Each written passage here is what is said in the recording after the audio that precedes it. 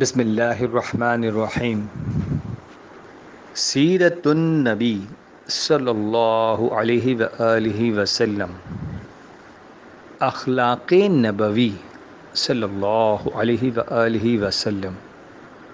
बीवी से बढ़कर इंसान के इखलाक का और कौन राजदा हो सकता है? चंद साहिबों ने आकर हज़रत आयशा सिद्दीक़ा रज़ी अल्लाह तहा से दरख्वास्त की कि आ हज़रत सल्लल्लाहु अलैहि वसल्लम के अखलाक बयान कीजिए। उन्होंने पूछा, क्या तुम कुरान नहीं पढ़ते? आप सल्लल्लाहु अलैहि वसल्लम का अखलाक हमातन कुरान था। हज़रत रिसालत पनाह सल्लल्लाहु अलैहि वसल्लम की हयात अक़दस का ये वो हिस्सा है, जहाँ आकर आप सल्लल्लाहु अलैहि वसल्लम की ज़िंदगी, तमाम अम्बिया कराम और मुसलहीन आलम से एलानिया मुमताज़ नज़र आती है। तारीख़ी हस्ती का सबूत एक तरफ़, अगर ये सवाल किया जाए कि इन इखलाक़ी वाइज़ों का ख़ुद अमली नमूना क्या था? तो दुनिया इसके जवाब से आजिज़ रह जाएगी। दुनिया के तमाम मुसलहिन अखलाक में गौतम बुद्ध और मसीह अलैहिस्सलाम का दर्जा सबसे बड़ा है। लेकिन क्या कोई बता सकता है कि हिंदुस्तान का ये मसलह आज़म, बौद्ध, ख़ुद क्या था? कोह जैतून के रहीमाना अखलाक का वाइज, मसीह अलैहिस्सलाम दुनिया को अखलाक का बेहतरीन दर्स देता था, लेकिन उसकी ज़िंदगी का एक वाक़ भी उसके ज़र्री मकूलों की तायद में तुमको मालूम है। लेकिन मक्के का मालिम उम्मी पुकार कर कहता है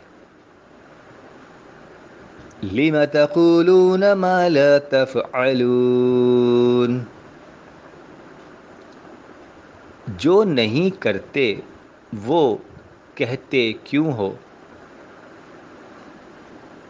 वो खुद अपनी तालीम का आप नमूना था। इंसानों के मजम आम में वो जो कुछ कहता था, घर के खिलवत कदे में वो इसी तरह नज़र आता था। अखलाक अमल का जो नुक्ता वो दूसरों को सिखाता था, वो ख़ुद उसका अमली पैकर बन जाता था।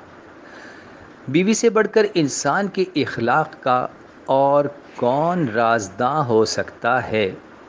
चंद साहिबों ने आकर हज़रत आयशा सदीक़ा रज़ी अल्लाह तहा से दरख्वास्त की कि आ हज़रत सल्लल्लाहु अलैहि वसल्लम के अखलाक बयान कीजिए।